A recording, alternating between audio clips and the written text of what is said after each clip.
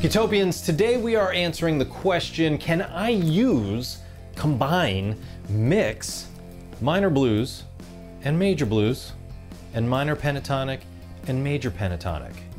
Yes, we're going to do that today. We're gonna throw it all in the pot. We've got a lot of beautiful colors to choose from. I'm gonna put together a line for you that does use a combination of all that stuff. And then of course we're gonna get into some improv where our focus is going to be using major and minor pentatonic and major and minor blues over the same situation. We'll get into all of it. Enjoy this one.